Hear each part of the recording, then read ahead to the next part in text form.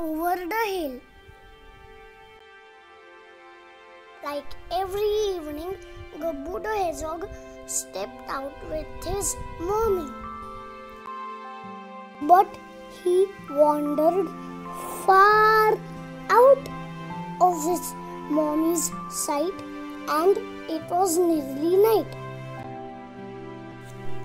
His little steps took him up and down the hill when all around was dark and still. There was nothing that he could see, and all he could hear was the roaring sea. His quills stood up out of fright. What will happen to him?